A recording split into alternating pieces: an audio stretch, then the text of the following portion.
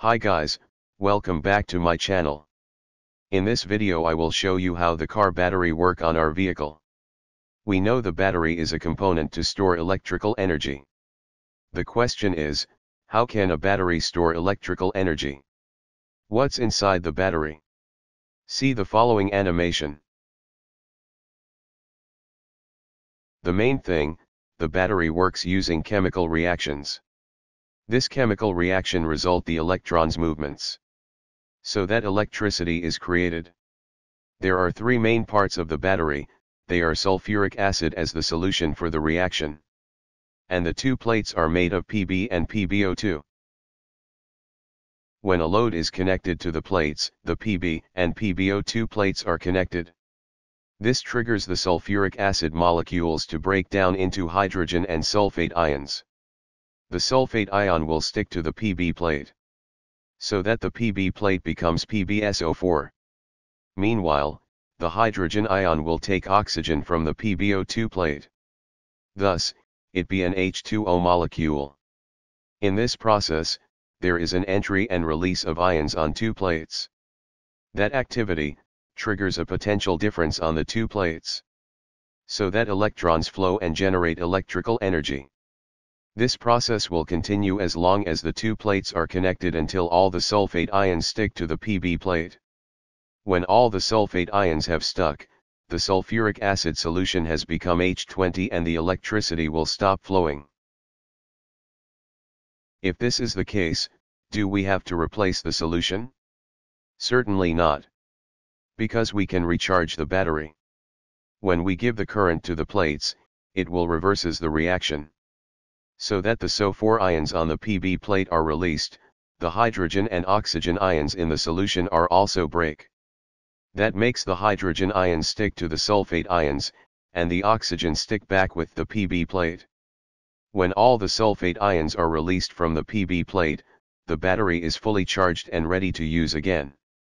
So simply put, the battery works because there is a release and inflow of ions. It triggers the electrons to move so that electricity is formed. Now take a look at the construction on the vehicle battery.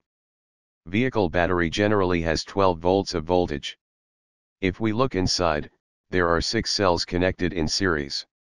That means one cell has a voltage of 2 volts.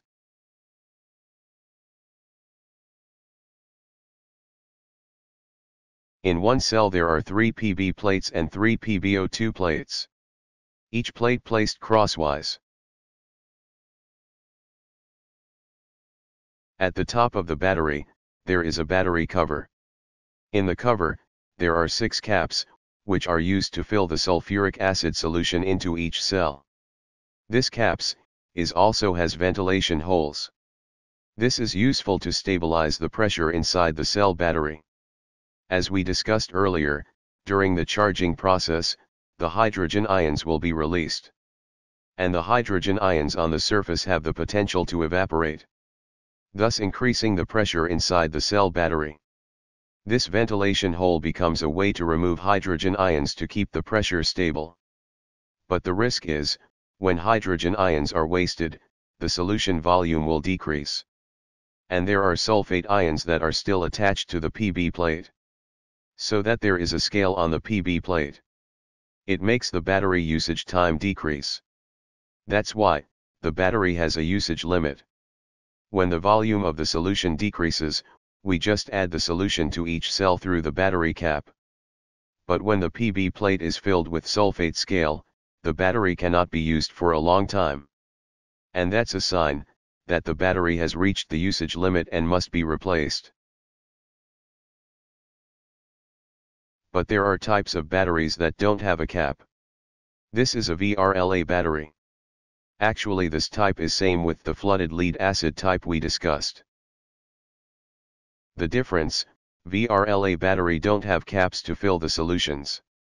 It mean, there is no solution leakage. But how to solve the pressure?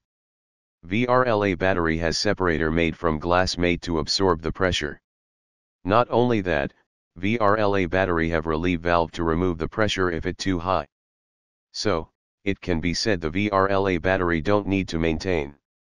Because the hydrogen leakage is too small and there is no place to fill the solutions. But still, the VRLA battery has usage limits. Because the VRLA battery still has a hydrogen leak but at a small amount. So that the lifetime of the VRLA battery can be longer than the flooded lead acid battery.